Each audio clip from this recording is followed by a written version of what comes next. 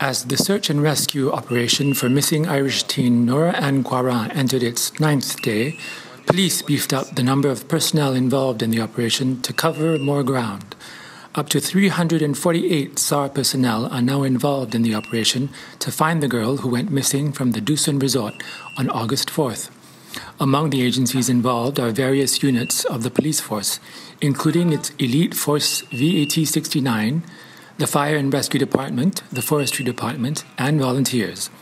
Today, members of the media were invited for the first time to join the SAR operation at Gunung Berembun. However, a recent rainstorm has hampered rescue efforts as the ground is now slippery and muddy. The SAR personnel are currently conducting a 10 kilometer search of Gunung Berembun, with police saying that the operation will continue as planned despite difficult weather conditions.